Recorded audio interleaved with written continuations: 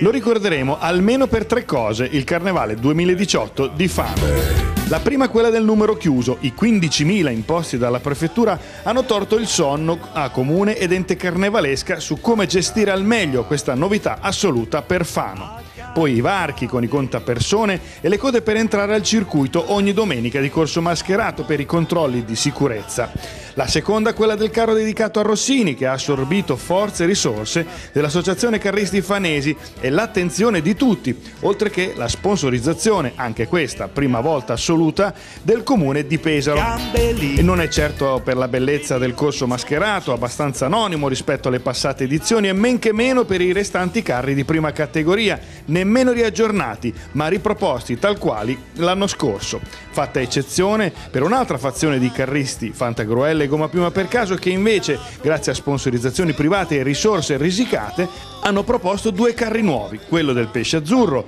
frutto della matita di Mauro Chiappa, ed un carro di seconda categoria realizzato in collaborazione con il liceo Nolfi Apolloni.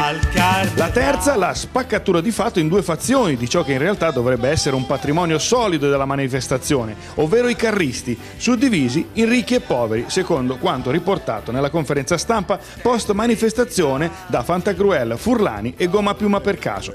A parte la pioggia di soli cioccolatini piovuta dai carri, anche la pioggia di numeri snocciolati nella conferenza stampa di chiusura evento da parte della carnevalesca fanno parte del contesto, come il numero totale dei carri allegorici, 11, e le 20 mascherate e i 53 eventi collaterali spalmati però in un lasso di tempo che va ben oltre le tre domeniche. E poi 123 unità di protezione civile per assicurare la sicurezza, oltre alle 60 unità di forze dell'ordine suddivise tra Polizia di Stato, Carabinieri, Polizia Locale e Guardia di Finanza, assieme a Croce Rossa Italiana con il suo punto di primo soccorso e le tre squadre di Vigili del Fuoco per buona pace della Prefettura e della Presidente Giammarioli, per la quale tutto è bene ciò che finisce bene. E direi che nonostante le grandi difficoltà con, eh, con la sicurezza, eh, le grandi difficoltà che questa grande manifestazione ha, a prescindere da tutto, direi che insomma, la, i numeri sono dalla nostra parte,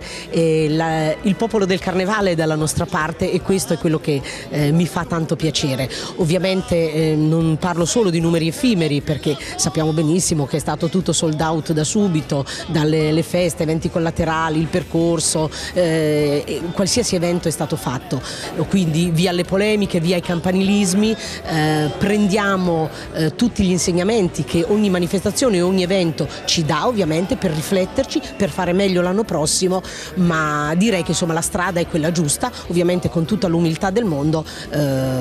andiamo avanti. Ecco. Marisa, vieni